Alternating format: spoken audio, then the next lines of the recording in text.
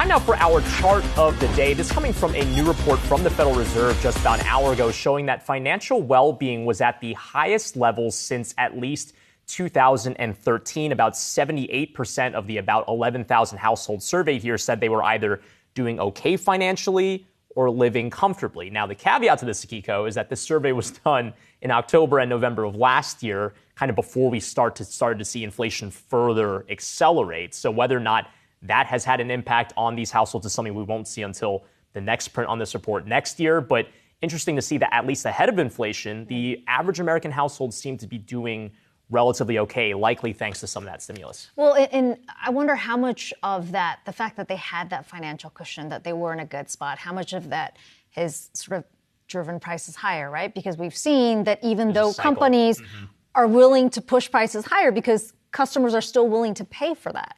Yeah, and I, I, think that that's something that, again, hasn't been borne out in this report. But if you kind of read the tea leaves, you make the assumption that, well, if households had a lot more savings, they can use that savings, tap into it to do more spending, consume more things in the economy. That demand allows companies to push prices higher. So at some point, though, you get that demand destruction where there's the kind of saturating point where companies continue to drive prices up and then you know households no longer want to buy things and then that type that sort of trend starts to reverse. Now again, we haven't seen that based off of this survey particularly, but what's very interesting is that the Fed specifically said you don't hear the central bank talk a lot about fiscal policy but they said that a lot of the household health was because of the child tax credit getting boosted mm.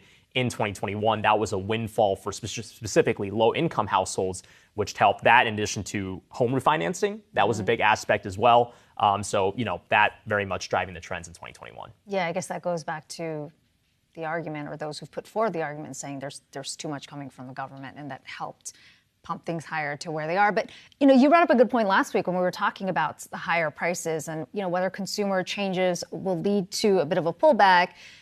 But remember, you said companies are now know that customers are mm-hmm. willing to pay, so they're going to keep the prices there if that threshold is holding. Yeah, and as we've seen from the recent CPI and PCE prints, that has not faded quite yet. Although company earnings calls might suggest that there's a leading indicator on that front. Perhaps that's going to change very soon.